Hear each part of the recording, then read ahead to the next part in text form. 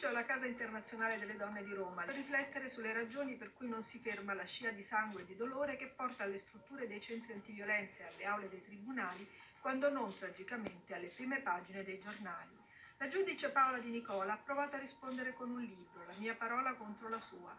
Il tribunale è il teatro in cui si rappresenta la società civile e l'immagine della donna su questo palcoscenico è carica di pregiudizi. Nel nostro contesto culturale, sociale, politico ed economico eh, alle donne non si dà credito.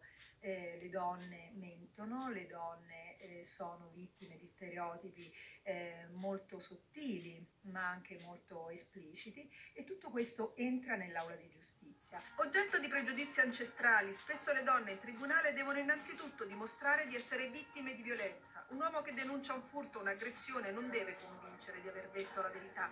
Una donna che denuncia di essere stata picchiata o stuprata spesso deve prima dimostrare che è accaduto davvero e che non se l'è andata a cercare. E anche quando la violenza è accertata e documentata, spesso arrivano le sentenze di assoluzione per l'aggressore. Un esempio per tutti sono le cosiddette liti coniugali. Cioè spesso accade eh, che quella che è una violenza che viene esercitata eh, in maniera inaudita, continuativa nei confronti di una donna, viene poi sinteticamente eh, definita semplicemente come lite coniugale e in questo caso si arriva alle assoluzioni. Le pagine di cronaca sono piene di morti annunciate, maturate in contesti in cui tutti sapevano. I processi di maltrattamenti, quei maltrattamenti che durano anni e che si concludono talvolta con il femminicidio, eh, sono coperti da omertà. È un'omertà eh, familiare, una, un'omertà professionale, nel senso che il contesto eh, de, in cui ha vissuto la vittima era consapevole.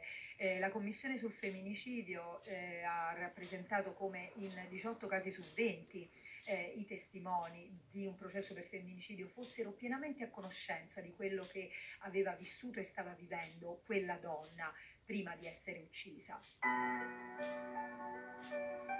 Nella sua battaglia contro i pregiudizi e i luoghi comuni, Paola Di Nicola nel 2016 aveva condannato uno dei clienti delle due minorenni indotte a prostituirsi ai parioli non a risarcire la vittima con 20.000 euro come richiesto dagli avvocati, ma ad acquistarle libri e film che parlassero del valore e dell'importanza dell'essere donna. Attraverso il risarcimento del danno economico che mi era stato richiesto,